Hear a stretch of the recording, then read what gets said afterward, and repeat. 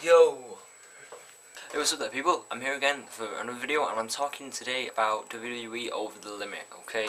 Now, it's a bit early for me to talk about pay-per-view because, you know, it is like two weeks away. But, oh well, I'm going to talk about it anyway because it actually seems not that bad actually. I mean, at first I didn't like the title, you know, but I'm starting getting to like it now anyway, so yeah, okay.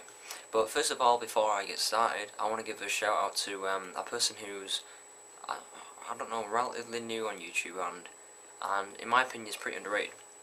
And his YouTube channel is, if I can just find it now, bear with me one second, I just said it a minute ago. Okay, Old School Ted 1.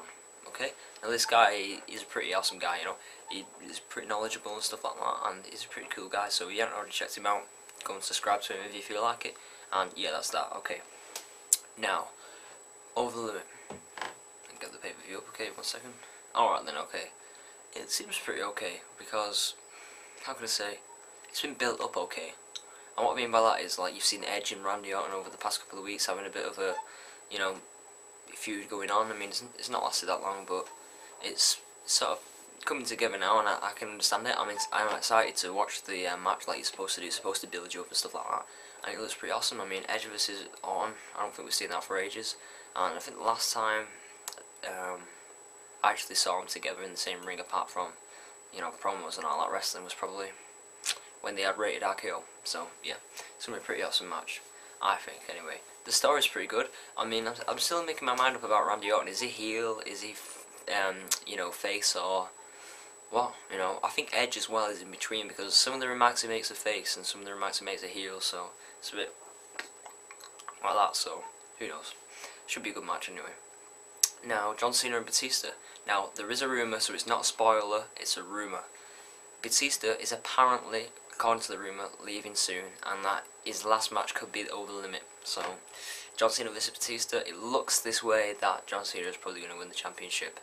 Um, I mean, this is going to be the third match we've seen in them, I think, consecutive pay-per-views. I mean, I mean, they've had some good matches actually. I thought, I mean, the WrestleMania match was a lot more better than I predicted it to be, and the Extreme Rules match was pretty good as well. So this hopefully should be good, okay? And it is for the championship. In my opinion, John Cena will retain. You know, it's not a prediction video; it's just a talking video, really. And then Rey Mysterio and CM Punk. This should be pretty awesome. Um, the pledge to join the Straight Edge Society and the taking off his hair match. This is the second hair match we've seen, so who knows? I mean, I don't really know what CM Punk would look like bald. Bald. Pretty disgusting, probably, I think. It just, it just wouldn't suit him. I mean, he probably look like Doug Basham. So, please don't go bald, CM Punk. He looks cool, doesn't he? He looks pretty awesome. You know, with his hair like that. I don't think he will. Um, but this is not prediction video.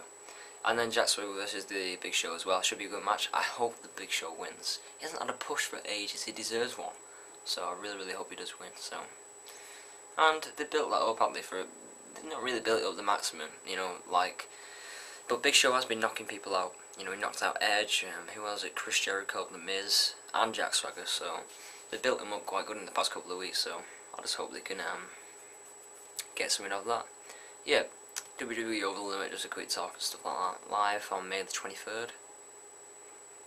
The theme song is Crash by Fit for Rivals, just in case you want to know and it's in Michigan. So, there you go. Just a video about it. And remember to go and subscribe to Old School Ted 1 as well. I'll put his link in the box. So peace out people, and I'll see you soon.